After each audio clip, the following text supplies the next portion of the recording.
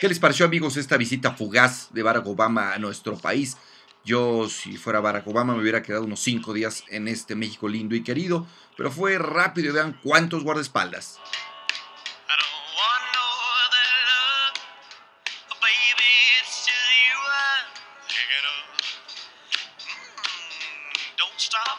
Pues ni al negro Durazo, cuando era jefe de la policía, lo vigilaban con tantos motopatrulleros de la Secretaría de Seguridad Pública, pero ahí la bestia, saliendo de la zona de Polanco, se dirigía Barack Obama a la residencia oficial de Los Pinos a cenar con un convoy de camionetas y todo el staff del presidente de Estados Unidos.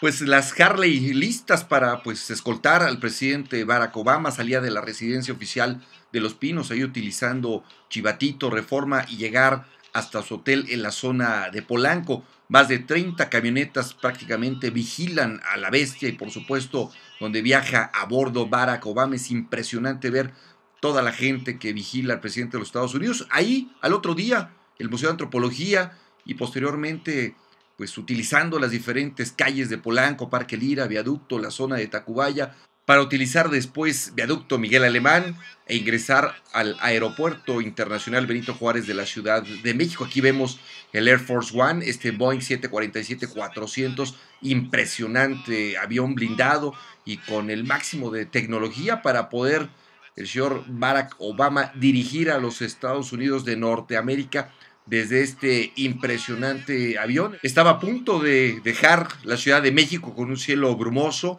Ya el piloto estaba avanzando, estaba listo para imprimir la velocidad para poder despegar. Era impresionante escuchar estas turbinas. Estaba también sobrevolando este helicóptero de la Marina, resguardando el despegue del avión presidencial del Air Force One. Estaban cerradas las operaciones del aeropuerto y también el espacio aéreo estaba cerrado.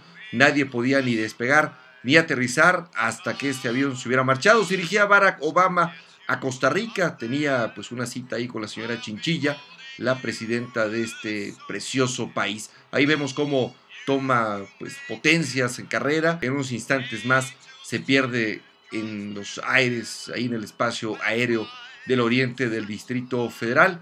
Fue sin duda de mucho estrés poder cubrir al señor Barack Obama por este impresionante dispositivo de seguridad. Sin duda el hombre más poderoso del mundo y el más cuidado del mundo. Con imágenes e información, Jorge Becerril.